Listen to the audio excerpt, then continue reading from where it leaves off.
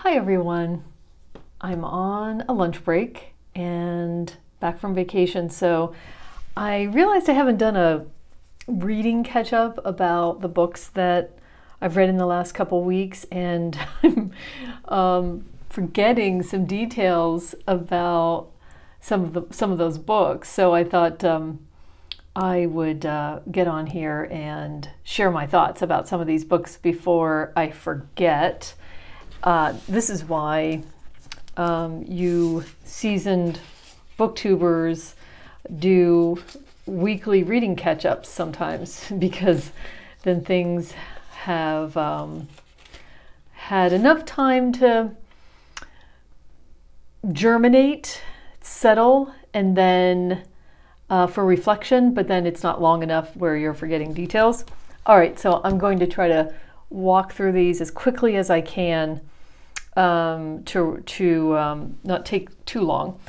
Um, I don't think that I talked about the Seven Husbands of, of Evelyn Hugo by Taylor Jenkins Reid.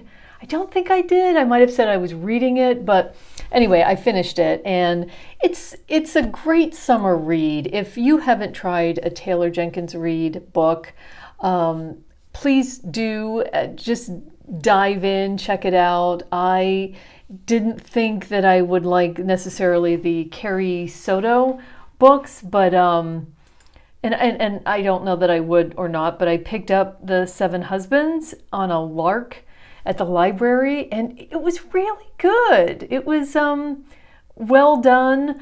Um, I'm not going to go in here too much about what, what it's about because you can just read part of the blurb or the millions of reviews that have been done about the book and, and, and see.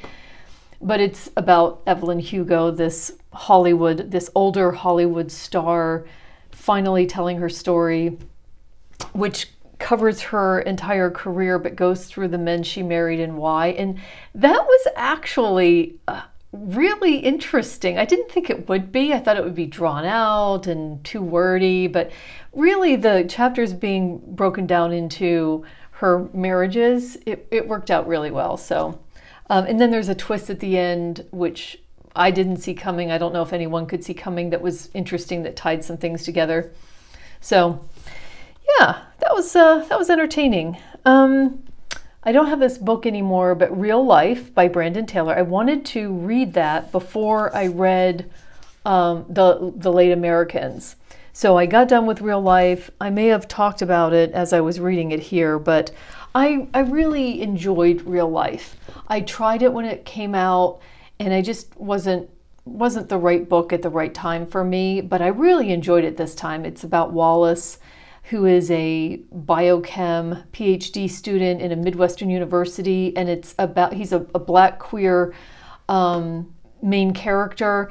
And um, so he's in this Midwestern university where there aren't um, a lot of black students, there aren't um, many queer students.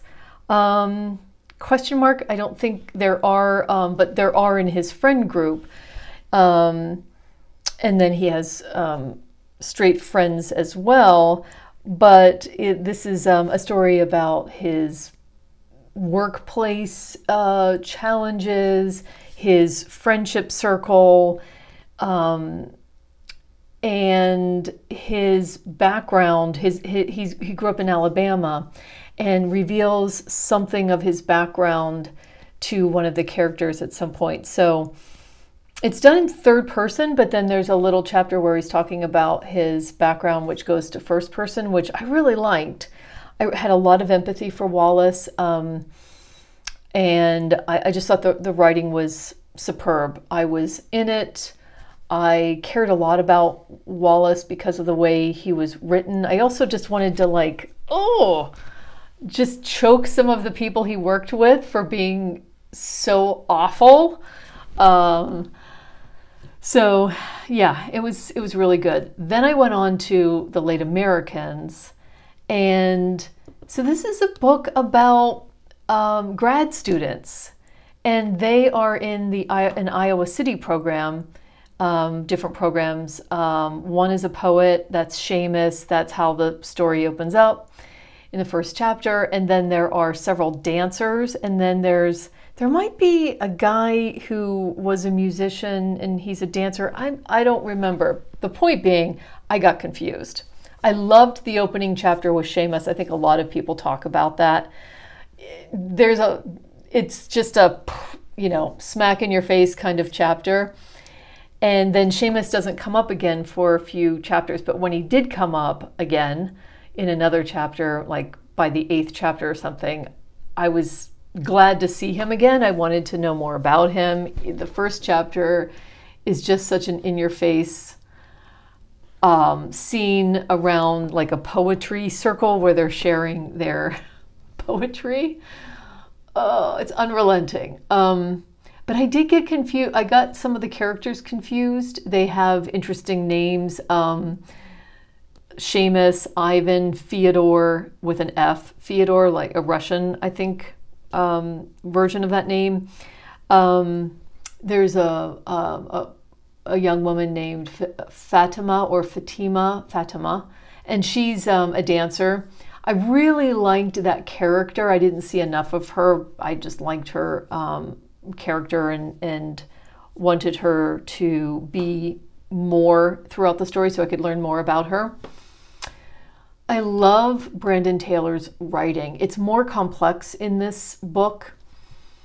Um, the way that he, so so this book is I felt more dialogue heavy, and there are scenes that are the chapters. So they're like vignettes of a character um, in a scene, and that could be um, in a um, in a macro level or in a micro level with uh, within a relationship. So there's a lot of friendship scenes, and then there are scenes where one of these characters is in a relationship, and most of the relationships have problems, have and some are serious problems, and so there's conflict within relationships, whether it's friends or lovers. And it seems to be that the characters, in one way or another, are struggling with their own lives, their own futures. Um, dancing is a highly competitive um, profession. And so for the dancers, you know, they're going to have to probably move to New York City. And where are they going to get the money? How are they going to do this? Um, so it was it was interesting. I think my experience looking back on the book is more favorable than it was when I was reading it. So I, I didn't feel that compelled to keep picking it up. But now that I've read it, I have a better feeling about the book. So there you go. Um, that's that. I have a list here, so I don't. Oh yeah, so the guest. I don't have these books anymore. I just returned them from um, to the library. The Guest by Emma Cline. I picked this up as a summer read. I have not read the other Emma Cline book. And this is about a young woman named Alex who's hanging out with an older man who she's met in New York City. This is the summer, and she's agreed to go to Long Island. He's wealthy, he has this beautiful house and a housekeeper in Long Island and she's going to parties and just hanging out. It seems to this older man's friends that this is normal for him to be hanging out with this young woman or, you know, maybe several young women. And she does something or maybe a series of things that irritates this guy enough that he asks her to leave. And so she's now out on her own and she doesn't want to go back to New York City. She doesn't really have anything there. She's got a some boyfriend or something, or an ex anyway, that she's really wants to stay away from there. And she has this feeling that by the time the Labor Day party comes, that this older guy, whose name I'm forgetting, is going to have, that everything's going to be cooled off. All she has to do is bide her time for a week. And so she knows enough about the beach and the beachfront and where all these houses are that she just knows she has to fold in and and um, you know crash uh, another gathering and pretend like she knows people. Uh, and that's what she starts doing. The interesting part about this book is i felt was the or that i connected with was the just abject loneliness and feeling of being a complete outsider and just almost invisible. Um, now, she sets herself up for this, right? I mean, she's in this like rarefied community of very wealthy people. So I'm not saying that I'm feeling sorry for Alex, but I did, I did um, en- not enjoy, I connected with or I appreciated the way that Emma Cline wrote this this sense of loneliness and stark um, not despair maybe but just um, the, the feeling of being an outsider. So i enjoyed that exploration. I did not I, I mean i could see the train wreck coming and i think that that's the tension in the book that you know that probably this thing where the guy kicked her out is not going to be resolved that there was no thing in his mind that she should come back. And how's that going to end? So I, I, enjoyed it. I would pick up another book by her as a um, as another summer read or a palate cleanser. Then I read a um, an advanced reader copy of Caleb uh, Caleb Azumah Nelson's new book Small Worlds, which has come out since then. I think in May. Um, so when I was reading it, um, I think it had already come out, or at least in the UK. I have not read Open Water. I did order it from the library, and it came in while I was away, so um, I have to get it out again from from the library because it uh, it was held too long. But I would like to compare his first book to now the second book because I don't have any sense of of him as a writer. Um, I'm saying that because I felt like this book, Small Worlds, which is about Stephen in London, he's a Ghanaian um, young black man who's about to to graduate high school and he's looking um, forward to college. He'd really like to major in music, although his family, um, being an, immigrate, immigrated immigrated family from Ghana um, is interested in him having a profession, and they don't feel like music is um, a serious enough profession. So he applies for college. He doesn't get into the music program, but he gets into a business program and he goes off to college. So this story is um, takes place over three summers. He's got a best friend, um, uh, a female named Dell, and she's a musician too. Um, you get to learn um, about the neighborhood that Stephen is brought up in, which is um, a neighborhood made up of, of um, um, Ghanaian families, and there's a, um, a, a, restaurant or convenience store. I can't remember which, but I'm thinking it's a convenience store and everybody knows everybody. Everyone's very close. They have very high hopes for Stephen.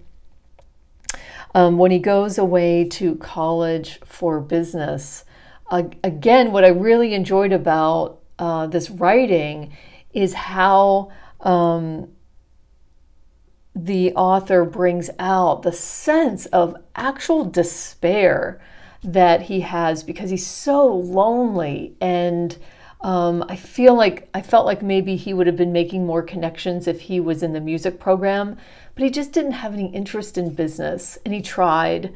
Um, but he got so lonely being away and not being in the program that he was in uh, or that he wanted to be in um, that he actually leaves and comes back and um, and gets a job. So that was that was um, heart rendering, and you didn't know what was going to happen with Stephen. And I'm not going to um, tell you any more about the the plot, but it does have a poetic language. And what I'm interested in knowing and learning is if his first book did too. They would so the the um, the author would repeat certain phrases that had to do with dance because Stephen and his friends loved to dance and be in clubs and at parties where they could dance. And um, so there were a couple phrases having to do with dance that kept being repeated, and I, I just wondered if that was a, um, a style of writing um, that um, that the author tends to use. Um, it was it, it, was interesting. It was engaging. I would I'm certainly interested in reading Open Water and um, and seeing what else um, Caleb Azumah Nelson does. Um, uh, but I'm, I'm very interested in reading Open Water because I have completely forgotten what that's about um, because it came out a couple years ago or three years ago. Um, so let me know if um, you've read Small Worlds now and if you've read Open Water, what you're thinking. And then I have written down um, Diary of a Void, and I have that here. I just finished it. It's a little novella. I saw it somewhere, so I picked it up because I saw somebody um, talking about it on, on BookTube, and then I saw it at the library. This is um, Emi Yagi's first novel. She writes for a magazine, or she's an editor of a magazine. So this is translated from the Japanese. So this was quirky. This is about a young woman in her 30s who um, is being treated like a like um, an old-fashioned secretary at her office in Tokyo, where they're asking her to clean up after meetings, cleaning up the coffee cups and so on. They're asking her to make coffee um, for uh, meetings, and she just gets fed up with it and says one day that she can't do the coffee anymore because she's pregnant and the co- the smell of coffee makes her sick.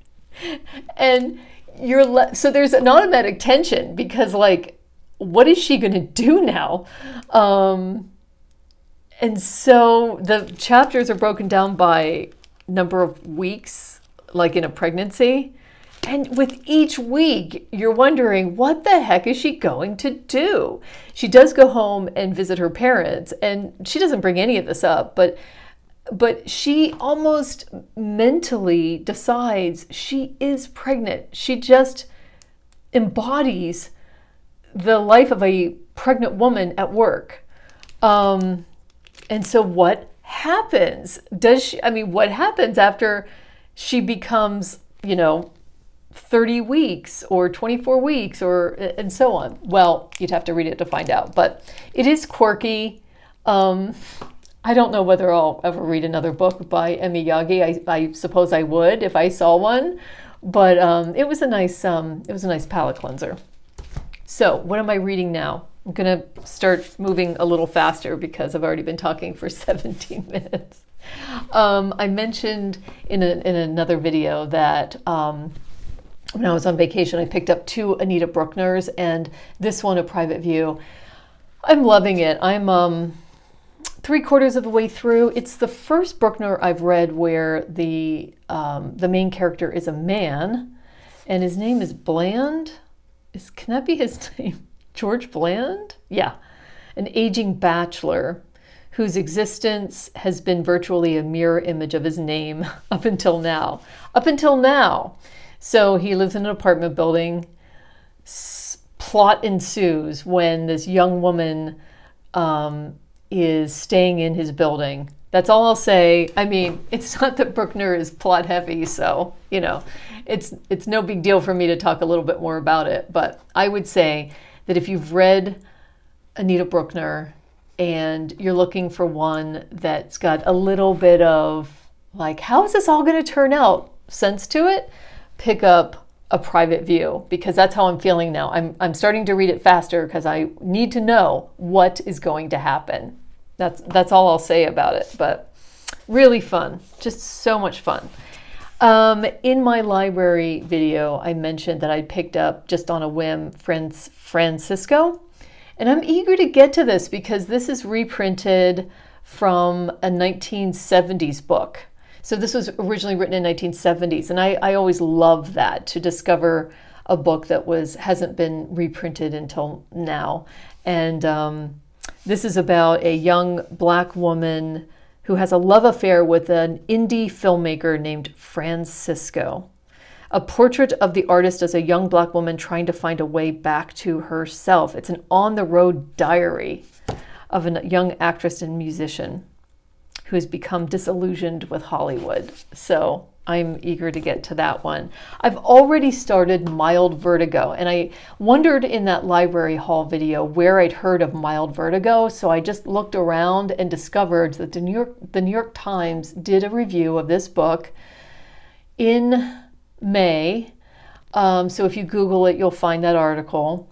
Um, Miko Kanai is how I'm pronouncing it. And this is actually a reprint uh, so this is translated from um, Japanese and um, it's done by New Directions Books. And this is a reprint of a book that was first published in, I think, in the 90s, in like 1997.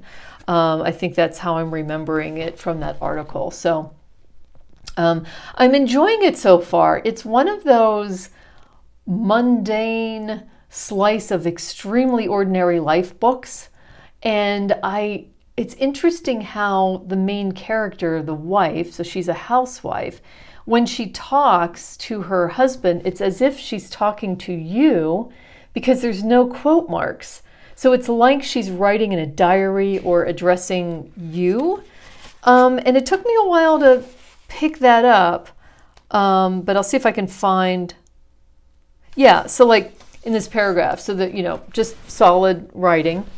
And then one of the paragraphs starts out Listen, let's say hypothetically that was true of the female architect in your office. But even so, said Natsumi, putting great stress on the even so, how can you say the same is true of Mrs. Asakuri's story? Honestly, whenever you talk about romance and stuff, you're always so heavy handed. At which Setchan, laughing through her nose, said, Which is exactly why I'm still single. Um, so here she's not talking to her husband, she's talking to someone else. But you don't know when you're launching into dialogue. And that's pretty cool. I feel like it's very um, intimate in that way. You're very close to these people and uh, when they're speaking. So I, I, I really enjoyed that. And then I will end by saying I'm now getting back to Pineapple Street, which I had just begun before I went away, but I do want to continue and see if I want to keep on going. I'm only on page 13 and I really liked it. Um, I'm not going to talk a lot about it here because it's all over the place, but um, we'll see if I keep on going. So that's it. That's a reading catch up. I am about to get a bunch of books um, this coming weekend from the library, so I'll have more to talk about and more to dive into then. But I hope you're having a good week. Thank you so much for tuning in again. And please let me know if you've read any of these books. Um, share your thoughts without any spoilers, of course, for anyone. And um, I'll see you on the next one.